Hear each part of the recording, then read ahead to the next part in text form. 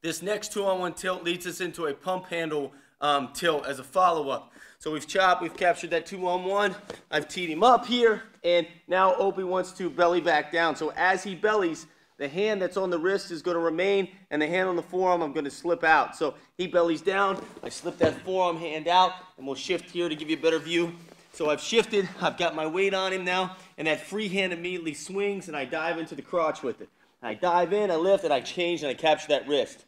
Now I can remove that other hand, and now we're diving into the pocket here in between his um, body and his bicep here. So I dive in and I scoop.